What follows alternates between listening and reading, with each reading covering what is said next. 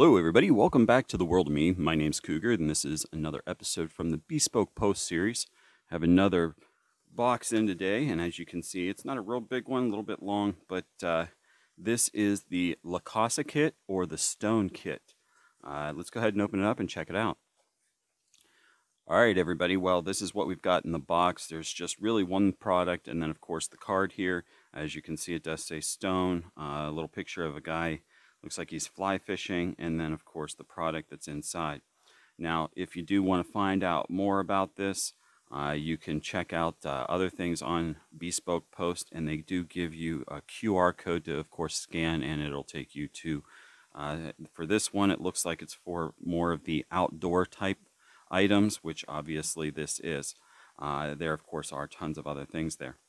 Uh, so let's check this out now. As you can see, this is by Fox Edge, and if you haven't guessed already, this is a a uh, bladed instrument. Uh, now we've got the uh, little card that comes with it, and this is just uh, looks like it's the yeah just the warranty, uh, some warranty information, and it looks like they have it in a few different languages there. So there you go. There, they do of course back up their products. Uh, and then here is the knife that we've got. Uh, obviously, first thing I notice is we've got a Kydex case. Um, it's got uh, a, well, this is an interesting looking belt clip looking thing here. Uh, but then it also has the holes on the outside so you can actually strap it to a bag or backpack, uh, maybe even to your leg or your boot or something like that. Um, Let's see what we've got. There's a little switch on the bottom here.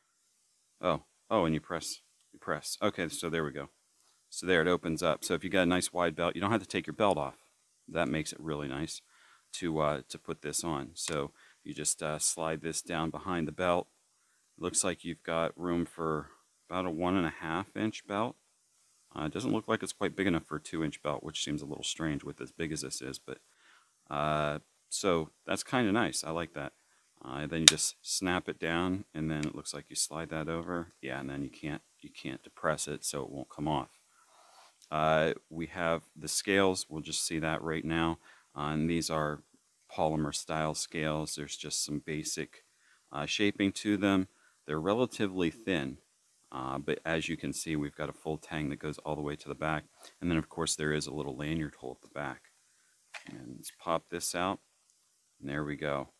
So we've got a uh, kind of a stone finish on it. It's very smooth. It's not textured at all. Sometimes the ones that we get are textured, uh, and this one is not. It just has that look to it.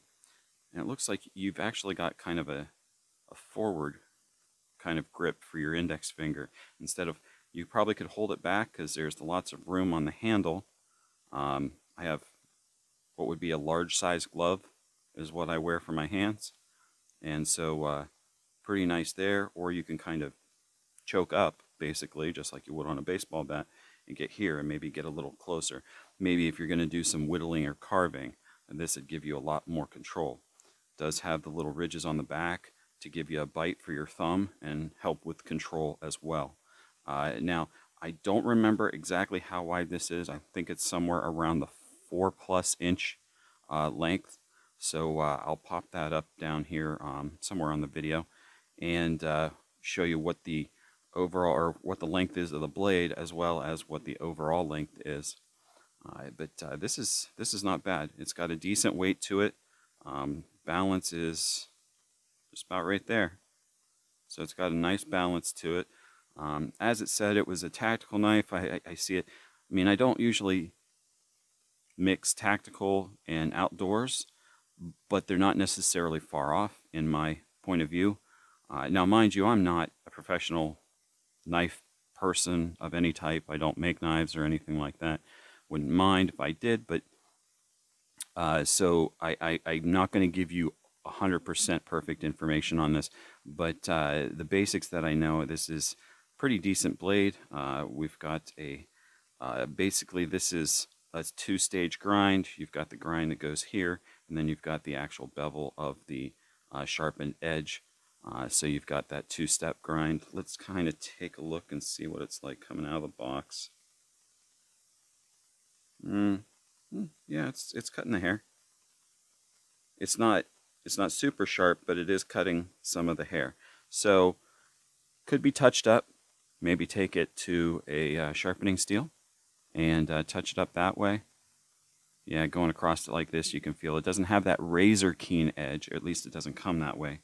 But uh, it is a pretty nice one. Um, definitely one that I think uh, would be good for camping and everything. Um, I'm sure I could do a little bit of uh, wood splitting with this, and uh, that wouldn't be bad. But then also, um, I think in the uh, page for uh, for this, it said something to the effect of doing some carving. So I think with this having the uh, kind of forward section on it like that to give you more control, I think that would give you a very good uh, ability to to carve with.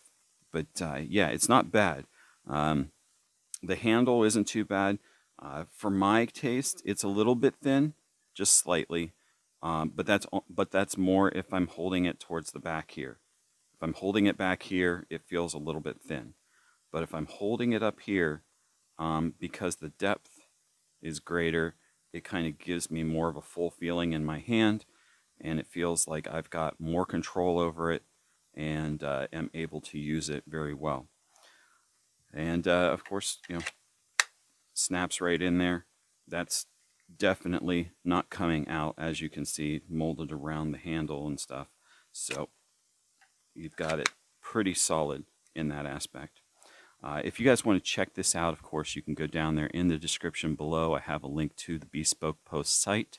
Uh, if you use that link, you're going to get 20 bucks off of your first purchase um, of a box. I believe it's for $50 or more, I think is how it works. Uh, and, uh, you know, that kind of saves you a little bit of money, gives me a little bit uh, as well because that's my link. Uh, I am not sponsored by Bespoke Post. I'm just showing you some of the products because I think these are interesting. But uh, also, while you're down there, you've got the social media down there. You can check out uh, all those as well as the link to my PayPal account if you guys would like to uh, help out the channel. And, uh, you know, if you like this video, don't forget to uh, hit that like button, that thumbs up button, hit the subscribe button, and ring that bell so you know when I've got new videos coming out here on World of Me. Alright guys, well, my name's Cougar, and that'll do it for me today.